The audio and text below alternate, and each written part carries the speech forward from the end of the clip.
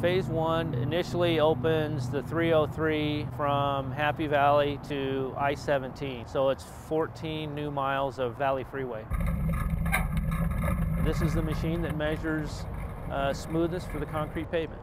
Once we run this profilograph, it counts what we call the bumps and the dips. Okay, this is where we switch lanes. We measured in tenth of a mile sections, 528 feet, and it simulates the travel of a vehicle.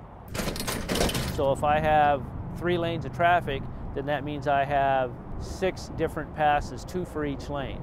So if you figure three lanes, 14 miles, and whatever you push forward, you turn around and you push back. So um, I, I would say Phil's probably come close to 100 miles pushing this thing.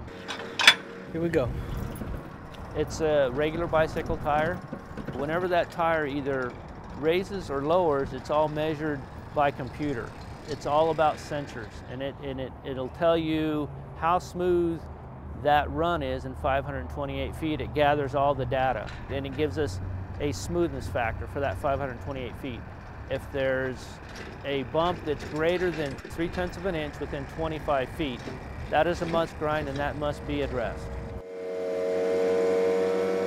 This grinder is, uh, it has diamond tip concrete blades. It's taken the bump that we identified out or it's, it's, it's taken the limits of the dip and making the dip not so profound.